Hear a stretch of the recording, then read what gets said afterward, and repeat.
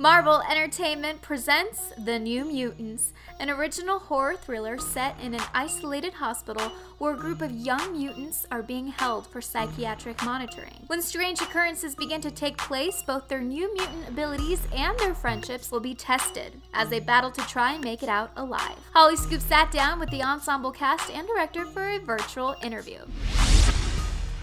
They talked about the first scary movie they ever saw. I remember sneaking into Scream um, when I was, I think, 12 or 13. It was so I was I was scared just because it wasn't you it wasn't horror in the monster aspect of it. It was humans committing these horrid crimes, and it was it really scarred me for a while. I couldn't really sleep. Mine was Scream as well. I watched it in my front room. I actually peed my pants. Did you? I was so young and I shouldn't have been. I shouldn't have been watching it, and I was so scared. I lived on the top floor. I was. I mean, I must have been. I was really young. Maisie Williams shared what feelings she gets from watching horror films. Now, when I, I love watching scary films, but I love the feeling, like the like the adrenaline rush. Like I think that it's like very like an addictive feeling and i think it's all from watching that film Then we had to know what it was like meeting each other for the very first time. I met Henry. I just. I just been for a run on the treadmill. And I, uh, okay. I don't know. First impression. I don't know. I. I mean. I remember it.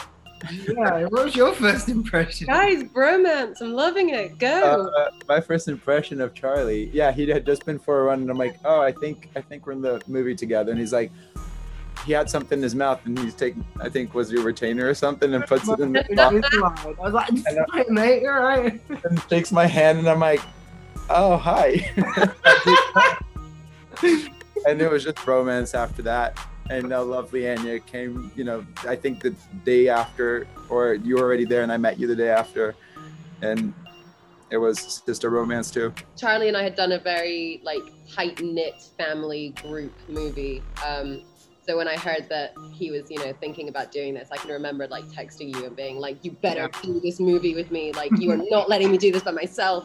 Yeah, Henry was instantly my brother, and we took a lot of drives together, and it was wonderful. the first thing we all did together was we all went on a grocery shopping trip to Whole Foods all together. So I'm like coming down the elevator to meet everybody in the lobby for the first time. And I remember my heart was just like racing. I'm like, oh my God.